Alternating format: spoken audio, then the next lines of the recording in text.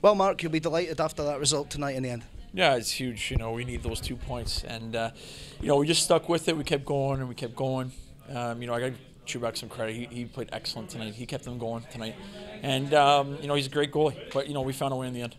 Yeah, the amount of shots that you uh, you put on the Edinburgh goalie was a, phenomenal amount, wasn't it? Yeah, it was. I, I told the guys we gotta get pucks tonight. We gotta go to the dirty areas to score. We had some nice, uh, you know, tip-ins uh, tonight, but I, th- I still think we got a little bit too cute at times, and um, you know we got to bear down in front of the net. But uh, it was good to see some guys get some goals that needed it.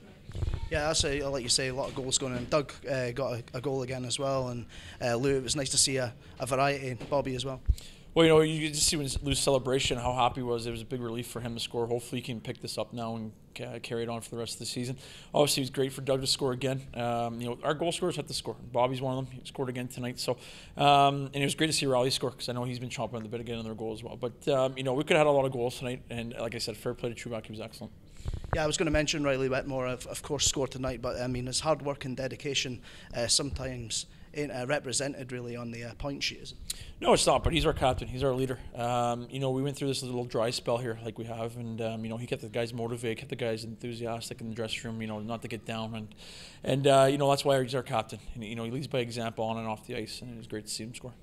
Yeah, and uh, new boy Scott tonight. How do you think he fared? I think he was pretty good. I think he's excellent on the penalty kill. He blocked some shots. He had a couple big hits. I think he had a couple good chances at well at the net. But um, you know, he's been here since Thursday morning. I think he's getting a little tired. But uh, you know, first impressions, I'm very impressed. And of course, Braehead uh, lost their game in, uh, with Manchester tonight in Manchester. Um, it's great to be able to capitalise on these uh, mistakes from them. Well, you know, we got to take care of our business first and foremost, and uh, you know the rest will take care of itself. As long as we're getting our points and uh, taking care of our business, things will work out in the end. So uh, we got to keep going here. Yeah, and taking care of business, it's important to get another uh, victory again tomorrow in Edinburgh. Well, we're only halfway done the job here. Uh, you know, I just told the guys in the room, hey, it's 0-0 again tomorrow. They're not, you know, they, they want to get out of this. They don't like losing. They want to get out of this thing too. So, and Murrayfield's a tough building to, to win in. Um, so we got to go there, ready to go like we did tonight, and um, you know, bear down a little bit more in front.